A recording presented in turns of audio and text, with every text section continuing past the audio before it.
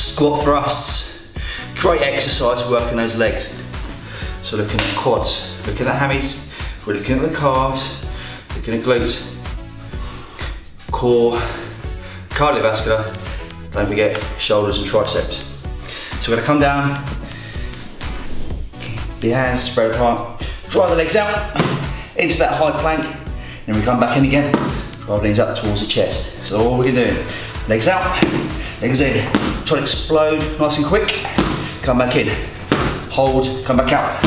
Once you get used to it, you can really build it up and explode in and out. Aim to do 10, 15 reps.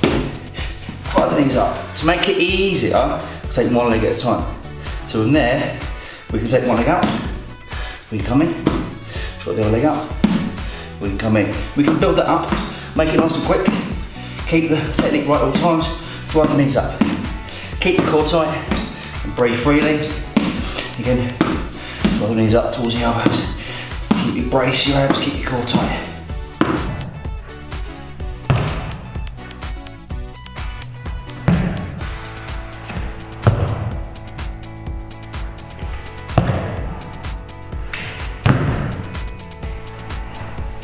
Remember, no excuses, just results you